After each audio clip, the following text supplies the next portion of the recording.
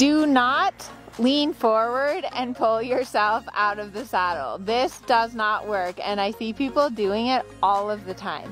It's really, really important that whenever you're going to use a rein aid to ride a half halt or to support for a downward transition, make sure to first get your upper body back just a little bit behind the vertical. You don't want to be leaning way back like this, but you just want to be about a degree behind the vertical so that that way when you do take contact, and if your horse does get strong, you should feel that it pulls you into the saddle rather than out of the saddle. So if I'm sitting a little bit back and my horse pulls on me, I'm gonna feel my seat bones go deeper into the saddle.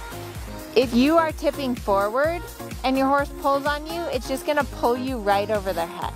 So always remember that to sit a little bit back, then take contact and ride your aid from your rein. Good boy, Kensington.